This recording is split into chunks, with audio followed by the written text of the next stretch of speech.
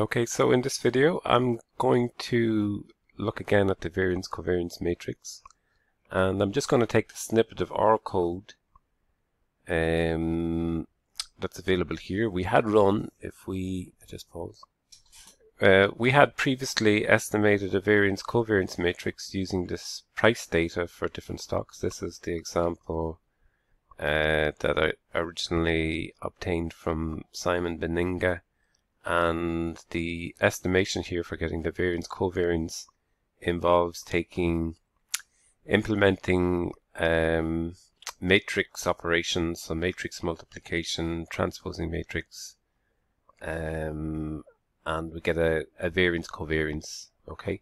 So uh, there are a few steps involved here. This can be done in R what I like about the Benninga file is it tends to set it up in a way that you can follow the steps. So you take the, uh, get the return of the data, then get the excess returns that you can see here. Um, the return, the returns were obtained using log difference. Then we subtract away the means, we demean, and then we multiply this matrix by itself and we transpose the we transpose one of the matrix matrices just ensure that the matrix operation works properly. Okay, so can we see this then in R? Uh, well, um, okay, let's go into the variance covariance for a second. And then I come down to R. And okay, so let's just take this file and it's just R. Okay so we okay can download the file. And it's just an Excel file so it'll in initially open and I can download. And then I can take the uh, R code. And basically we can read in that data CV, so data covariance file, and then we create an object called prices, and then we take prices, we can pull out General Electric on its own, um, but for the entirety of the different uh, data, we create the log difference uh, with a lag of one period so that creates a return annual return. And then we can ascribe that to portfolio R and then take the covariance of R okay? And hopefully should have the same result. So I copy this go into R studio paste and then uh, I suppose set the working directory to the downloads because that's where I downloaded the file. So downloads uh, here and okay, open uh, because that's where we parked. That's where the data VC variance covariance went down to. See if you can read it in first of all. Uh, cannot open. Okay, so um, I better just check that the file is there. Okay, so what I've done is I've taken the data VC out of the downloads and I've put into uh, a folder that shares, that's in this, where the file is shared in the same folder as this particular file here. So this is saved as var covar. I saved this as variance covariance uh, .r. So I went file new, sugar, file new, R script, then I pasted in the code, then um, I've set the working directory to the source file location.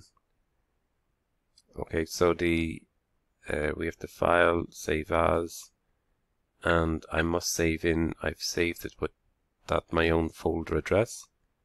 Right, so I'll just say I don't know one one save and then also the data VC is in the same folder. Then I go session, set working directory, and to the source file location. So both the data, this file, CSV file, and the script are in the same folder. Now if I run, it'll read directly because I've set the working directory to the source file, it'll read the data in directly. So the um, the dates and the prices appear. That's what we've observed before. That's what we have here, right? And to get the same output, uh, the variance covariance matrix, I can perform the same action in R. Um, I can scrutinize the, the prices. If I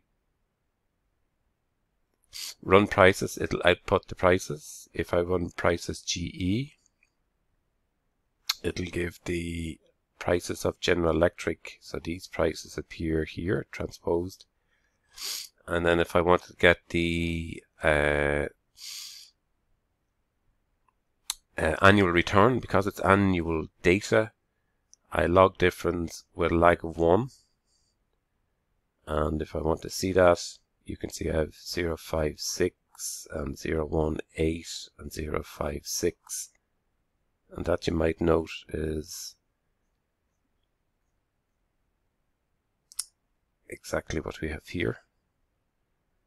Right, so basically I'm for I'm able to generate the log returns and I verify that by comparing the results here with those in the R script. And then if I want to do it for the six stocks, so General Electric, Microsoft, Johnson Johnson, Kellogg's, uh, I think it's, uh, is it Boeing? and then IBM, and R denotes return, log difference return, so continuously compounded return. We can do it for each of these, and they're appearing, you can see here, uh, in the global environment. And uh, we can then put these into the one. So these are lists of data. Uh, we want to put them into the same data frame. So we say portfolio R and then we can print out that portfolio R and these uh, returns here are the same as what we would observe here. So this is the return data. Again, in the Excel, I have to get the access excess returns. We don't do that in R.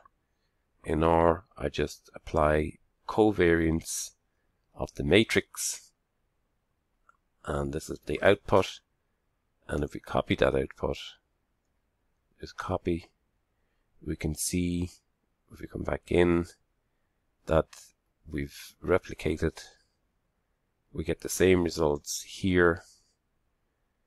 75822 as here. So the R output and the results we obtained in the uh, Excel spreadsheet are the same.